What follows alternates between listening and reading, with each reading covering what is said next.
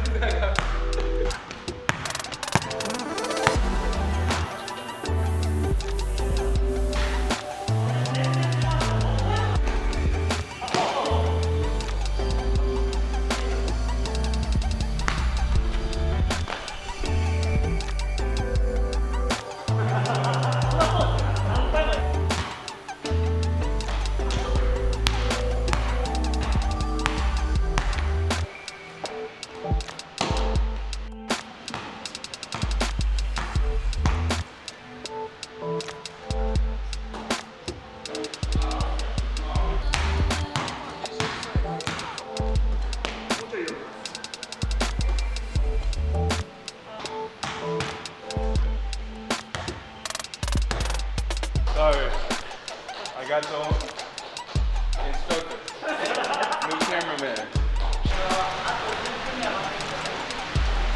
こうやって毎年どこのチームに行ってもこうやってカメラマンさんたちは褒めてくれるんです。